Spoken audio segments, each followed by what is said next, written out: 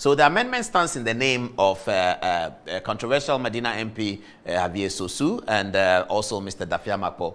And the amendment is as follows. Okay, uh, proposed amendment. One, the first amendment they are looking for, the removal of the Chief Justice as the chair of the General Legal Council. It goes as follows. It is argued that the General Legal Council disciplines lawyers through the disciplinary board. This board is often challenged in courts, which are presided by judges answerable to the Chief Justice. This means that the judges may be influenced in their decisions as they may not want to get on the bad side of the Chief Justice. Hence, the amendment proposes the removal of the Chief Justice and other justices of the Supreme Court from the General Legal Council. Let me explain this position so people can understand. You see, the General Legal Council is not a court. A General Legal Council is a, is a body, a, a, a, body established by an act of parliament. So they are not a court. Okay, so because the, the, Chief Justice chairs the General Legal Council, and the disciplinary body of the General Legal Council, which is a disciplinary board, is also chaired by one senior justice of the Supreme Court. The General Legal Council is responsible for disciplining lawyers. So if you are a lawyer and, and you have disciplinary issues, the General Legal Council will pronounce the judgment against you. But that judgment can be challenged in court, and it can be challenged preliminary at the High Court. And then you can go to the Court of Appeal and then the Supreme Court. But you can challenge the ruling of the General Legal Council at the High Court. This is the controversy. The persons at the General Legal Council who deliver the ruling are Supreme Court justices. The person who is going to evaluate the ruling is a high court judge, lower judge, lower than the Supreme Court justices. We have to understand that in delivering their judgment as the disciplinary board of the General Legal Council, whilst they may be Supreme Court judges, they are not doing it in their capacity as Supreme Court judges. They are not sitting as Supreme Court judges. They are members of the General Legal Council. You have to look at it like a disciplinary body of a church. If the Chief Justice belongs to a, a church, ICGC, Action Chapel, or, or Lighthouse, or something, and then they call him that, come and be part of the disciplinary body of Lighthouse Chapel so that we can discipline pastors. When he pronounces a ruling from there, he's not pronouncing a ruling as a Supreme Court judge. The value of the ruling is up to the value of the body that he is leading in the church. So that the value of the rulings that are delivered by the disciplinary board of the General Legal Council is up to and limited to the value of the General Legal Council's board position within the judicial if you like, hierarchy. And in that judicial hierarchy, the High Court is higher than that body. Never mind that that body is manned by justices of the Supreme Court. It doesn't matter. So they propose, those who are asking for the amendment are saying that Judges of the High Court may be influenced by the fact that this ruling was delivered by Justice Eni. This ruling was delivered by Justice Jones Dotse. I'm a simple High Court judge. How can I evaluate their decision? So because of that problem that they see uh, or anticipate or have seen occur every now and then, they are asking that the Lord Chief Justice and not just of the Supreme Court be removed from the General Legal Council. That's actually found on page three of the amendment that they are proposing. Okay.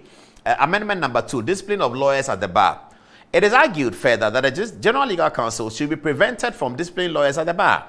The proposal draws inspiration from Section 15 of the Professional Bodies Registration Decree 1973, NRCD 143, that provides that professional bodies will make rules for admission, ethics, and also provide for disciplinary matters. If that is so, then the right forum for discipline of lawyers would be the Ghana Bar Association. That's another interesting amendment they are proposing. Now, you have to get the background to this story, and that's where we're going to show you the Honorable uh, um, Okudzeto, member of the Council of State's reaction, because there's some history here, you know. One of the people who are proposing this amendment, controversial Madina MP, Xavier Sosu, has ever had a problem with the, with the General Legal Council. He did. And the General Legal Council had, had uh, made uh, pronouncements against him to suspend his license, etc., etc. But he went to the courts, the court system, and he was successful. The court said that the General Legal Council did not have the power to do what they did. They didn't have the power to pronounce what they pronounced, and that they were not fair to him. So the court restored him back into his practicing of law. Now he's proposing this amendment. So we know that there's a bit of history to this, and we can understand why Okudzeto is responding because Okudzeto was part of the General Legal Council disciplinary body that dealt with the Xavier Sosu matter. But so just to get you a background of where this amendment is coming from, even though uh, this amendment has been applauded by a lot of people, I'm sure that even the Attorney General is going to have a look at it to see whether we can have some substantial legal reforms in Ghana because as it's beginning to turn out, it looks like we might need it. And uh, we'll get to the details of that. Okay. Uh, so that's for the discipline. They want the Ghana Bar Association to discipline the lawyers pursuant to NRCD um, uh, 143 of 1973. Okay. Uh, proposed Amendment 2, Discipline of Lawyers at the Bar. This will prevent the instances where judges of superior ranks make decisions on the disciplinary board only for them to be overturned by judges of an inferior rank in the court. That's on page 3, 5, and 6. This is a point I was making to you earlier that, that they want to avoid the system where superior judges make a decision and then has to be overturned by uh, judges of, uh, of, of junior courts. Okay. It is proposed that Section 8.1 be amended to ensure that the licenses, once issued to lawyers, can never expire. Okay. Uh, here again, they feel that um, the lawyers must pay every year to renew their license, and the proposers of the bill are concerned that, that they feel that's extortion of sorts. So they say that once you get the license, you don't need to pay to renew it anymore. That's what they're asking. Is that a good thing or a bad thing? I don't know. This amendment moves the idea that the faculties be made to run the professional law course. So this amendment of the uniform bar exams. Okay. So amendment number four. This amendment moots the idea that the faculties be made to run professional law course, while the General Legal Council supervises all the faculties in the running of the law professional courses, after which all graduates from the various faculties sit for the unified bar exam after which they shall be given their licenses if they are successful. Page 5. Okay, let me give you the background to this as well. So uh, the whole situation began uh, from independence. Only the University of Ghana Faculty of Law, the premier university, was licensed to run law programs, what we call the LLB. Now, LLB is a French uh, uh, terminology, lower, lower bachelor. It just means Bachelor of Laws. But, but because it started in France, that's where the degree comes from. So LLB is French. It just means Bachelor of Laws. Okay.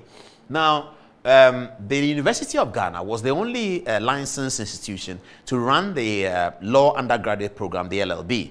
And the Ghana School of Law, sited near the courts, uh, but they say it's Makola, but it's, it's, more near the courts. The, the purpose of it being there is not the market. The purpose of it being there is the Supreme Court building, but it happens to be near the market. And the market is very useful for students. I mean, when we were there, we used to go to the market all the time to buy food, isn't it? Okay, so the market is useful for students. So we say that Ghana Law School Makola, but its location is so that it's near the Supreme Court because the training of lawyers has to have proximity to the courts. And because it's practical training, you go to court, we do moot court and all of that kind of thing. So that's why it's there. So the Ghana School of Law in Makola was the only licensed institutions to train lawyers in the practical program. The University of Ghana was the institution to train lawyers in the degree program of law. And so from the from Legon, you just go straight to uh, Makola. There was no exam in those days. Okay. Then uh, the University of Science and Technology was also licensed to run law programs sometime around 2000, and, I think, three or four, something like that. Okay. So KNUST was running it. Sometime in 2009, many, many institutions were issued licenses to run LLB programs, both at postgraduate level and at undergraduate level, because the University of Ghana at some point in 2001 uh, uh, curtailed the undergraduate law program and converted it into a postgraduate program. Very much like the American situation. You know that in America, a lot of the law degrees, they call it the JD, the Juris Doctorate, is available at postgraduate. So the University of Ghana was following that, that principle. And so they curtailed the LLB at undergraduate program and they made it a postgraduate program for two years instead of three years at the LLB for old system people and four years for the new system people. So uh, the University of Ghana started a postgraduate program. KNUST at the time was running undergraduate program. But sometime in 2009, many, many law schools were licensed to run postgraduate and undergraduate programs. Now, these persons, when they, they got their degree, then needed to get into the law school to get the professional training. That's where the problem started. So we over-licensed the LLB training program. We just over-licensed them 2009, 2010. We just licensed them, and now we have about 32 institutions who are training, uh, who are awarding law degrees at both postgraduate and undergraduate level. That creates a problem because then the law school says facilities, this and that. Okay, so this amendment is to say that all of those schools that have been granted accreditation to run uh, postgraduate LLB programs, they should be allowed to teach the professional program. At the end of the situation, a unified bar exam should be written across the country. Those who pass are called to the bar. Simple as that. So if you go to Legon to do an LLB, after you finish the LLB, you will continue to stay in Legon to run the professional law course. And a unified body will, will then put out the exam and then you can write it. And that's it. That's what they're asking for. I don't know how that's going to go anyway.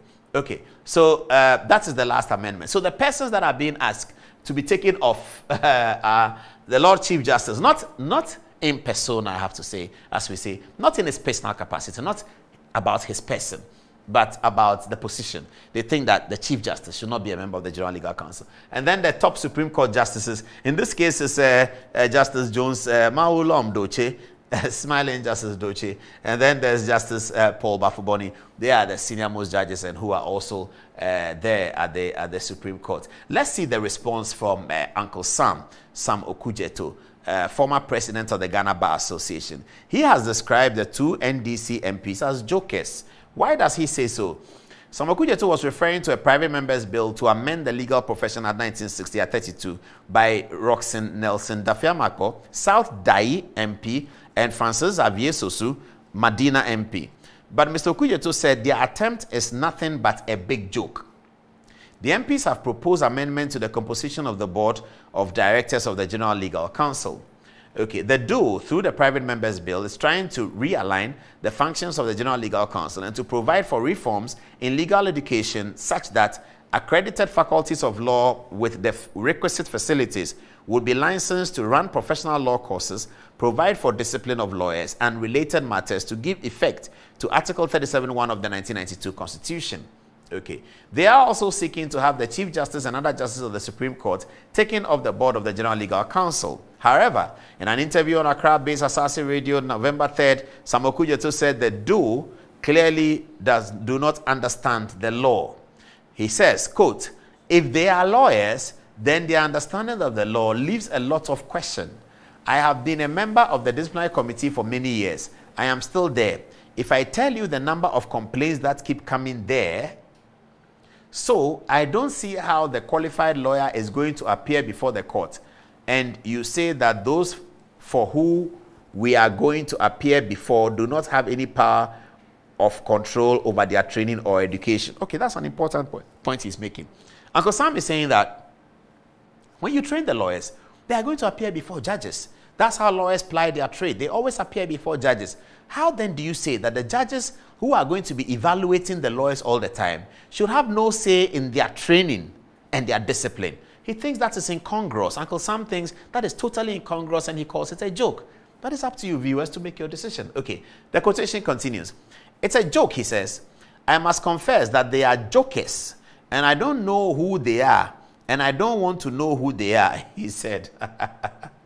he warned that there could be repercussions for the two MPs, thus they should not misbehave. Wow, that's like that sounds like a threat. Uncle Sam seems to be threatening that they should grab the two MPs and hold them before the disciplinary committee of the General Legal Council. I think that's what he suggested. I don't know. Uh, let's continue. They have problems. I think they should go and keep quiet because there can be no more troubles than they realize in the fact that we are concerned because there can be more troubles than they realize in the fact that we are concerned. However, if they misbehave, we will deal with you in accordance with the rules and laws that have been laid down. He said, Oh, wow. So that sounds like a threat. Uncle Sam is threatening.